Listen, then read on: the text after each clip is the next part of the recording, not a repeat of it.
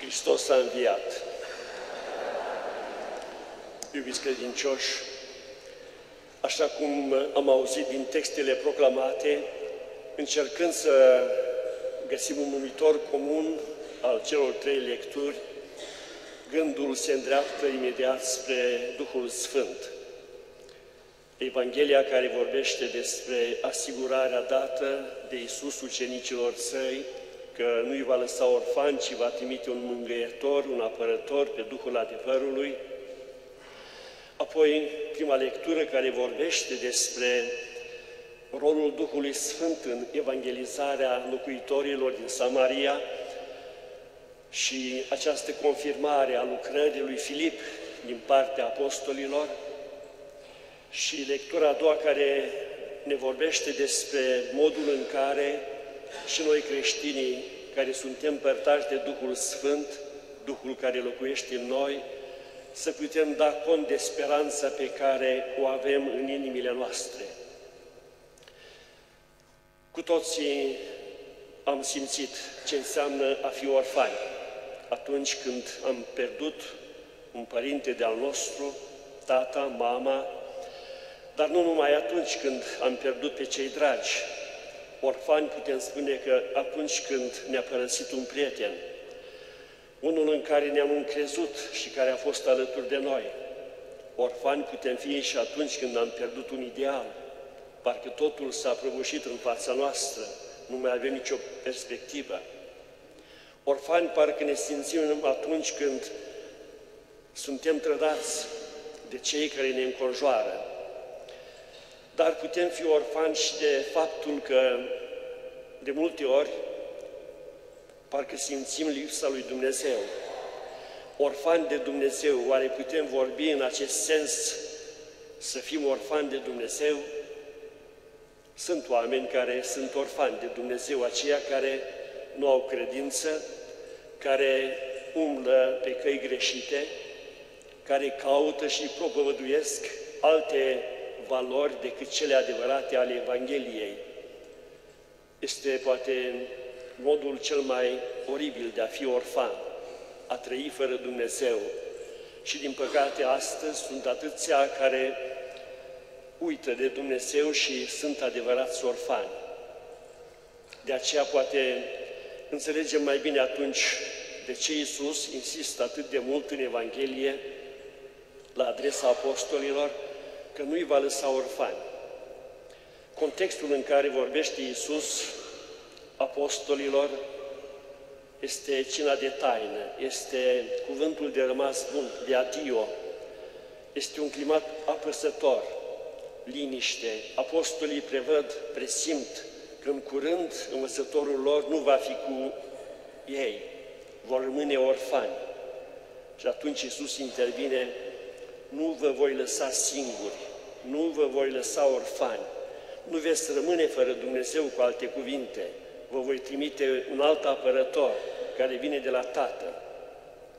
Și apostolii, prin parcă curaj și activitatea lor ulterioară, faptul că au mers să predice Evanghelia pretutindeni și au dat mărturie cu mult curaj despre Cel care a trăit în mijlocul lor și a venit să fie Mântuitorul lumii.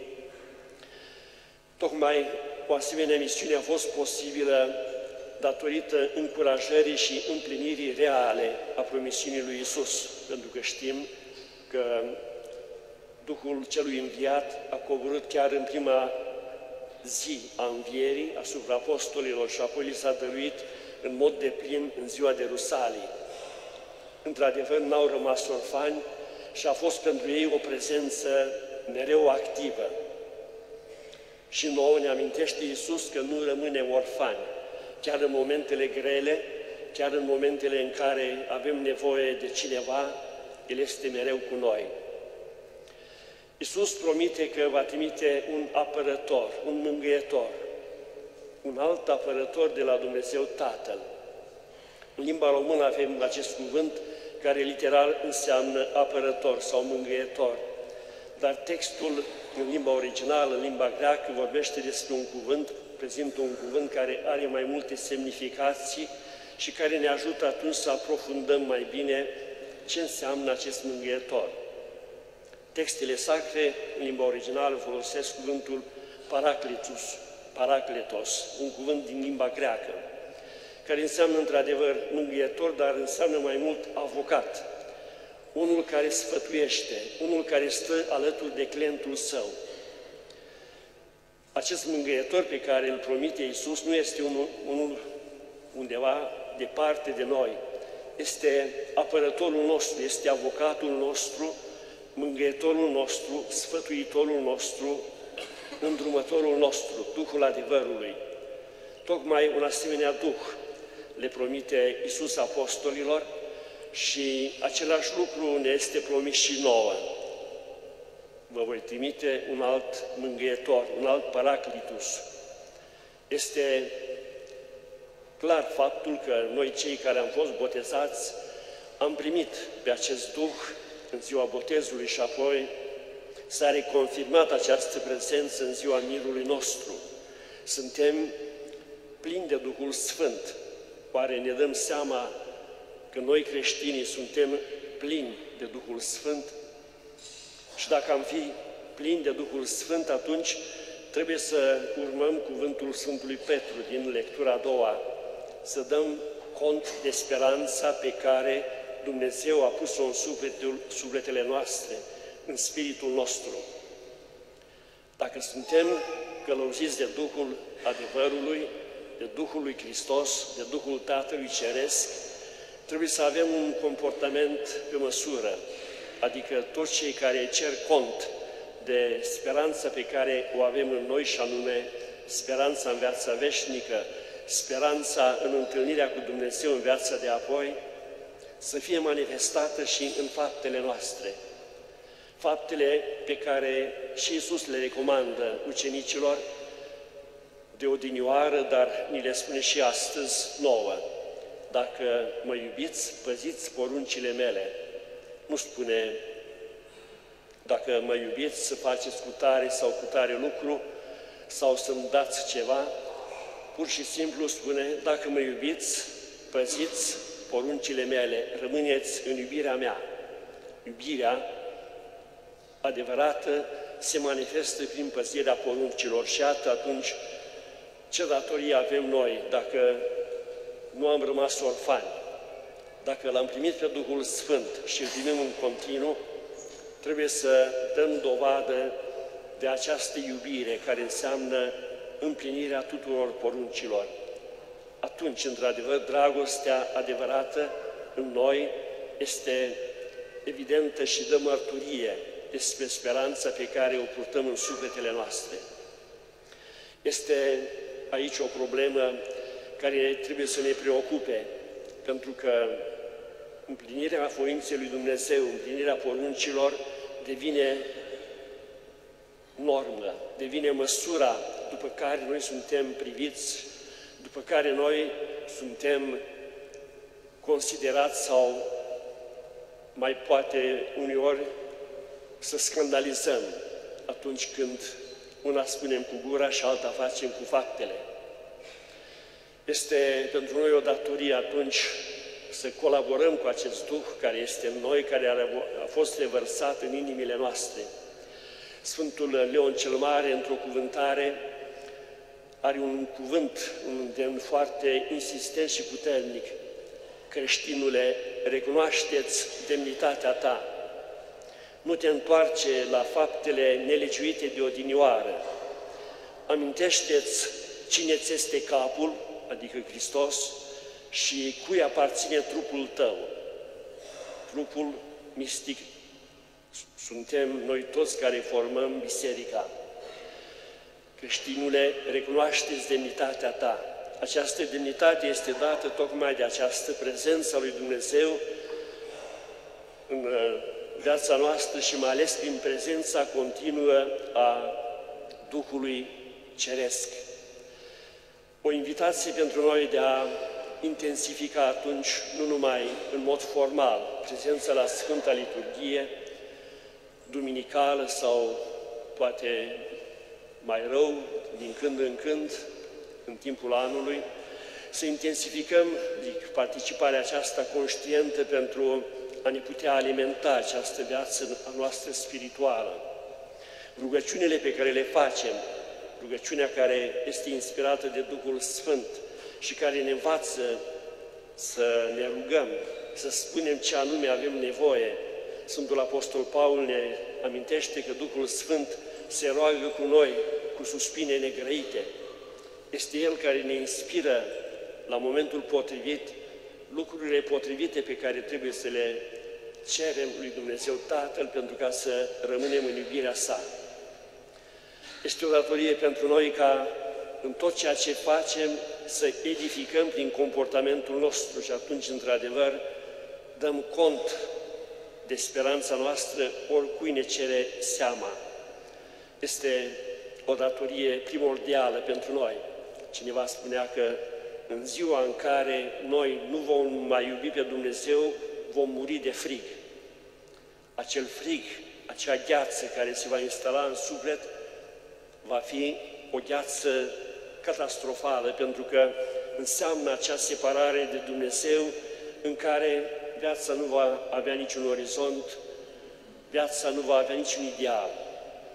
Alimentând viața noastră din iubire, adică din păzirea poruncilor, garantăm tocmai un drum plin de seninătate, de bucurie, de răbdare, pentru că tot Sfântul Apostol Paul ne amintește care sunt roadele Duhului Sfânt, bunătatea, îndelunga răbdare, credința, bucuria în suflet, toate acestea ni le procură Duhul Sfânt în orice moment.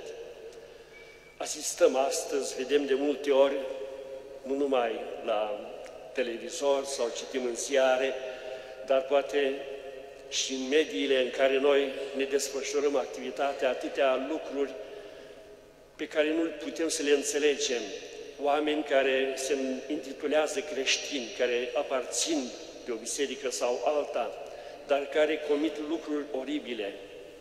Tineri care părăsesc sau uită de drumul bisericii și săvârșesc atâtea lucruri care nu fac parte, nu fac cinste numelui de creștin, mai rău aceste căutări ale unui sens în viață, în afară de biserică, în alte lucruri înjositoare, toate acestea trebuie să dispară din orizontul nostru dacă într-adevăr îl rugăm pe Iisus să nu ne lase orfani, să fie mereu cu noi, și să ne călăuzească mereu cu Duhul Său. Acest Duh, acest avocat, acest apărător, să fie mereu alături de noi pentru ca întotdeauna să putem îndeplini datoriile pe care le avem. Chiar dacă nu suntem poate o poziție deosebită, dar acolo unde suntem, suntem chemați să arătăm prezența creștină, suntem chemați să arătăm că ardem de Duhul Sfânt. Și vă relatez o parabolă din care putem învăța. Se spune că odată soarele era foarte trist, pentru că luna îl anunțase că în noaptea următoare nu se va prezenta la datorie. Soarele avea deja un program precis, când trebuia să răsară, când trebuia să apună și era îngrijorat cine va lumina pământul în timp de noapte, pentru că și luna, cu lumina ei mai palidă, totuși este o lumină care strălucește pe volta cerului. Și în timp ce soarele se frământa, s-a prezentat o mică lumânare. A văzut și a spus, n-aș vrea ca pământul să rămână în beznă o noapte, Iată, eu sunt aici, o lumânare mică, și vreau să mă aprind și să luminez, să fac o mică lumină pe acest pământ. Concluzia este clară. Fiecare poate fi o mică lumânare, nu cu pretenția de, de a fi soare sau de a fi lună, ca să dăm lumină pe tot pământul, dar fiecare cu lumina sa, cu această făclie a Duhului Sfânt care arde în sufletele noastre, putem să ducem această rază de speranță peste tot. este datoria noastră, cei care am trăit Paștele, adică moartea și învierea lui Hristos.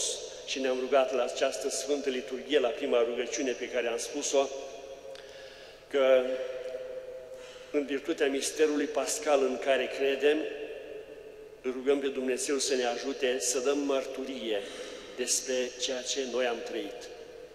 Iată, iubiți credincioși, încet, încet Biserica cu pedagogia ei ne învață și ne îndreaptă spre sărbătoarea Rusaliilor, care ne amintește de coborârea Duhului Sfânt asupra apostolilor, dar noi suntem pregătiți din timp pentru a fi conștienți că acest Duh Sfânt joacă un rol foarte important în viața noastră. Ne rugăm la această Sfântă Liturghie ca Duhul adevărului, Duhul Sfânt, pe care ne l-a promis Hristos și îl promite în continuu, să nu ne lase niciodată orfani și să lucrăm așa, în așa fel încât, în faptele noastre, să dăm cont de speranță pe care o avem în sufletele noastre. Amin.